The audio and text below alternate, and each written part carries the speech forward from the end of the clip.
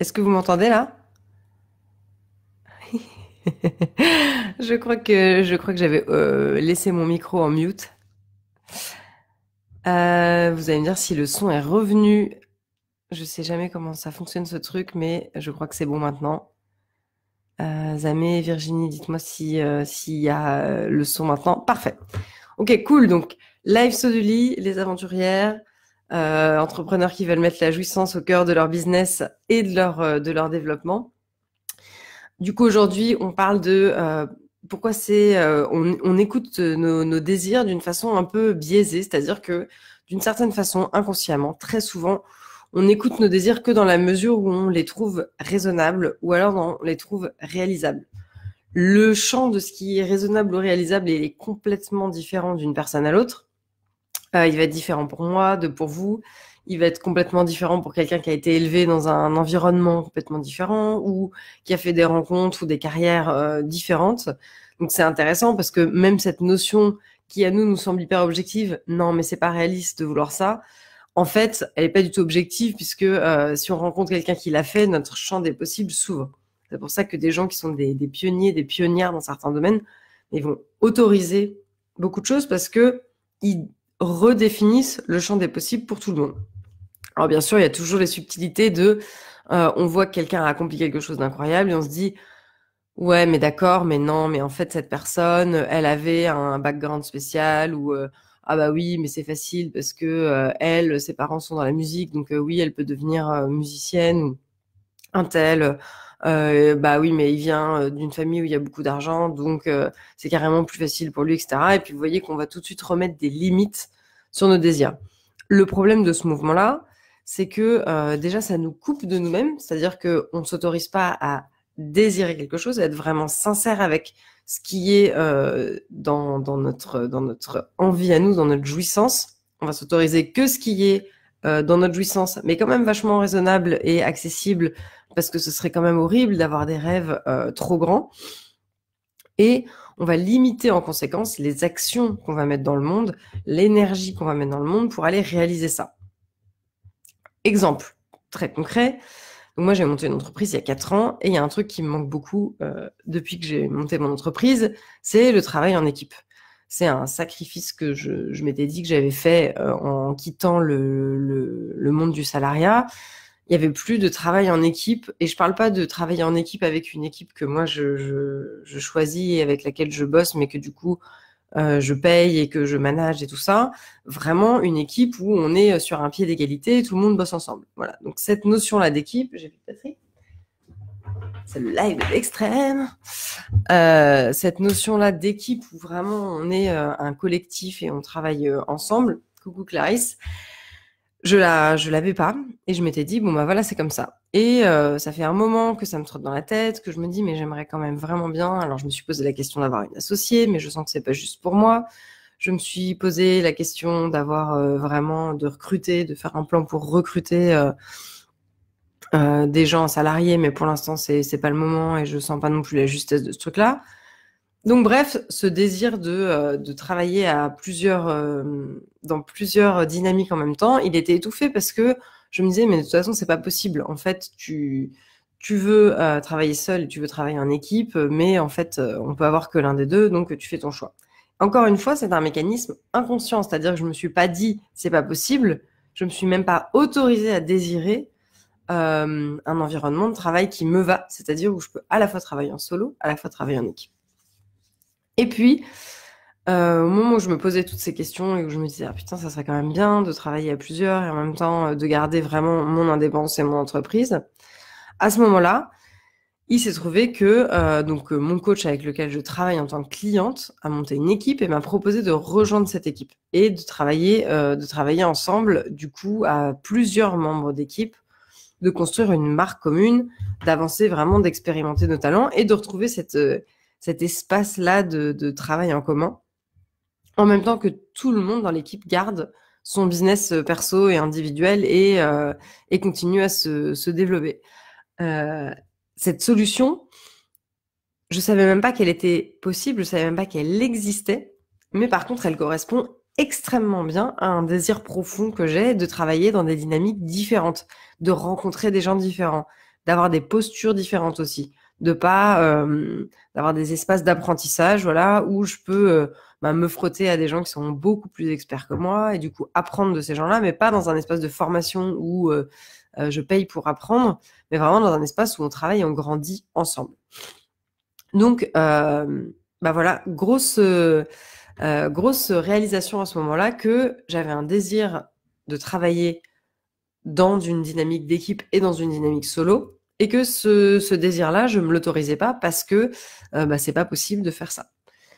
Un autre exemple que je vous prends, c'est euh, une cliente euh, que j'ai rencontrée il y, a, quelques semaines, qui vient à moi avec un problème de, prise de décision justement parce que elle se dit bah voilà j'ai monté une boîte qui est pas mal mais qui commence à devenir lourde pour moi et je sais pas du tout quoi faire.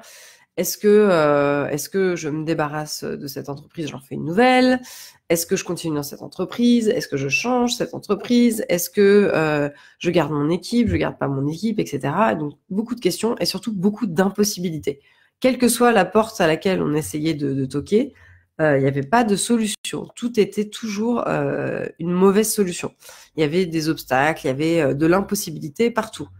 Donc ça, ça me met la puce à l'oreille parce que je me dis, hmm, on est en situation d'échec tout de suite. Il n'y a aucune bonne solution. Je pense que ça vous est déjà arrivé d'avoir des dilemmes comme ça où euh, on se rend compte que euh, il n'y a pas de solution qui se prend. Clarisse t'a posé une question sur la procrastination. On fait tout le temps le tour du rond-point, le tour du rond-point, le tour du rond-point. Et on ne prend pas de sortie, on ne prend pas de décision. Donc, euh, pour travailler avec cette cliente, pareil. Le truc qui m'est revenu plusieurs fois subtilement, c'était en fait, euh, là, elle me parle que de ce qu'elle pense qui est possible. Mais le rôle du coaching, c'est aussi de prendre du recul et d'aller chercher euh, en dehors de, des petites cases et des choses qu'on a pu répéter des milliards de fois à nos clients, à nos potes, à, euh, nos, dans notre tête, à nous-mêmes, à nos conjoints, pour essayer de démêler les fils. Et c'est tout le temps, tout le temps les mêmes trucs qui reviennent et tout le temps des espèces de compromis mais désagréables où on a l'impression de perdre quelle que soit la décision qu'on prend. Qu'est-ce qui s'est passé pour cette cliente? Il y a vraiment eu cette notion de euh, où est-ce qu'il est ton désir là-dedans? Qu'est-ce que tu veux vraiment? On s'est rendu compte en regardant euh, l'entreprise qu'elle avait construite qu'il y avait vraiment cette notion de euh, cette entreprise, elle a été construite de façon raisonnable pour répondre aux besoins du marché. Elle n'a pas du tout été construite pour répondre au désir, à l'originalité, à la, folle créativité et à la personnalité de sa créatrice. Et donc, du coup, on est dans euh, bah, j'ai créé un truc que je pensais qu'il pouvait exister et pas dans j'ai créé un truc incroyable que j'avais trop envie de créer euh, parce que c'était euh, c'était moi, c'était mon désir, c'était quelque chose de, fou et de et complètement aligné avec mes désirs, même si peut-être personne l'a jamais fait avant ou peut-être moi j'ai l'impression que personne l'a fait avant. Du coup, on libère la puissance de son désir en travaillant ensemble là-dessus et on se rend compte qu'effectivement, le dilemme disparaît en fait. Parce que là, elle se reconnaît à quelque chose qu'elle a vraiment envie. Et quelque part, les modalités, que ce soit avec cette entreprise, avec une nouvelle, euh, elle, se, elle passe en second plan, on va dire, du fait de se reconnecter à, à ce qu'elle a vraiment envie de créer, à son vrai désir, à la raison pour laquelle elle a fait ça. Sinon, qu'est-ce qui se passe? Bah, On refait les mêmes, euh, les mêmes schémas et les mêmes choses en boucle, puisque on n'est pas en train de faire ce qu'on désire vraiment faire, on est en train de faire ce qu'on pense qui est possible ou ce qu'on pense qu'on a le droit de désirer et non pas euh, ce qu'on est vraiment en train euh, de vouloir amener, de vouloir créer dans le monde. On n'est pas dans euh, sa puissance créatrice, on va dire. On est vraiment dans OK, j'adapte ce que j'ai vraiment envie et j'adapte ma puissance créatrice à ce que je pense que le monde est prêt à recevoir. Donc on fonctionne à l'envers, on prend l'extérieur en plus donc à travers notre filtre hein, de, perception de la réalité, donc ce qu'on pense que l'extérieur attend, et on essaie de euh, rentrer dans ce moule-là, de se faire euh, violence pour, euh, pour correspondre à ça, plus ou moins avec de l'espace ou de la liberté, versus je pars de moi, je pars de mon désir, je m'en fous de savoir s'il est réalisable ou possible, ou si c'est raisonnable ou je sais pas quoi, et de ce désir-là, je crée ma vision. D'où le titre de ma vidéo, n'attends pas de savoir si c'est possible. N'attends pas que ça soit possible, que quelqu'un te l'ait montré, que, euh, que tu aies 12 preuves de le faire, etc. pour aller écouter tes désirs parce que sinon tout est monté à l'envers en fait. J'écoutais là le live de, Flora sur euh, la féminité qu'elle a fait euh, lundi où elle expliquait que bah, son parcours par rapport à la féminité, c'était dans un premier temps bah, le féminin, les modèles féminins autour d'elle sont pas super excitants ou elle lui semble pas hyper épanouie donc elle va plutôt du côté masculin donc elle s'habille comme un garçon, elle essaye de vraiment d'être le plus possible un garçon comme les autres. deuxième, ce cheveu est fou. Deuxième, euh, deuxième phase, euh, elle va trouver qu'il y a des gens qui sont euh, des femmes qui sont des, des, modèles un peu excitants, mais euh, elle se reconnaît pas non plus. Elle se dit, moi je peux pas faire ça. Et puis si je le fais, il va y avoir des conséquences. Je vais devoir attirer l'attention. Je sais pas si je peux gérer ça, donc je le nie à nouveau. À une phase où ensuite elle a vraiment fait le chemin inverse, c'est-à-dire non pas chercher ce qu'était la féminité à l'extérieur, euh, ce qui était la féminité dans les, modèles euh, qui l'entouraient, mais chercher qui était Flora. Et en trouvant et en étant dans cette exploration de Flora, donc à nouveau on part de l'intérieur, bah, s'est rendu compte que euh, elle était féminine parce que elle était une femme, donc de toute façon quand elle est elle-même, mais plus elle est elle-même et plus elle est et se sent féminine, du coup c'est même plus un sujet en fait, c'est même plus un problème ou une quelque chose à travailler puisque de toute façon, c'est euh, dans le, chemin et dans la découverte euh, d'elle-même que ça se passe. Là, c'est la même chose que je veux vous inviter à faire, c'est à regarder que euh, parfois, on a tendance à plaquer nos désirs dans ce qu'on pense qu'on attend de nous ou dans comment je peux me faufiler pour rentrer, et en particulier dans le business créer un truc que le marché est prêt à m'acheter. Et ensuite, on est dégoûté quand on découvre des gens qui ont pété toutes les règles et qui ont fait, en ont fait qu'à leur tête et qui cartonnent. Bah, là, c'est pareil.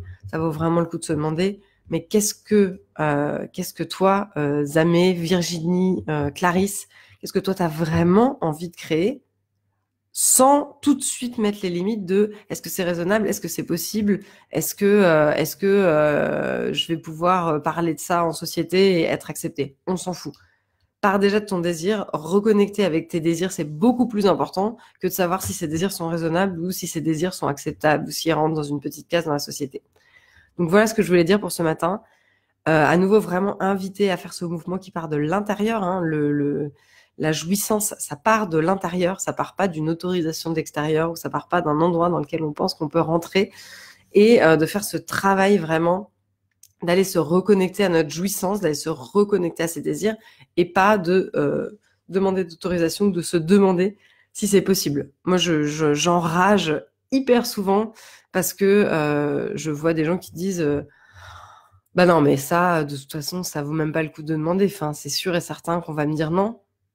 Bah ok, mais du coup, si on ne demande pas, on saura jamais en fait.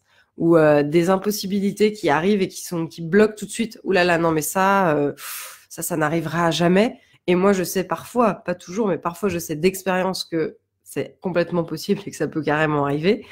Et je vois que la personne en face, ben, elle est bloquée dans sa vision de ce qui est possible et ce qui est réaliste et que tac, ça s'arrête là. Il n'y a pas de, on va pas au-delà de ça. Euh, et du coup, je suis vigilante moi aussi sur les endroits où je me dis, euh, bah non, mais je suis obligée de faire comme ça. Bah oui, il y a, que comme ça que, ça fonctionne. C'est toujours des endroits où je suis en train de me limiter, où je suis en train de de pas aller euh, inventer quelque chose de nouveau pour euh, remplacer ce qui se fait ou ce qui est ok. Et on s'en fout d'avoir l'air euh, bizarre ou d'avoir l'air décalé ou de pas avoir le saut d'approbation de la société parce que franchement le saut d'approbation de la société s'il vient au prix de ta jouissance ça vaut carrément pas le coup de l'avoir. Donc voilà ce que je voulais dire pour ce live presque saut du lit. Je vous souhaite une très très bonne journée et je vous dis à demain pour un nouvel épisode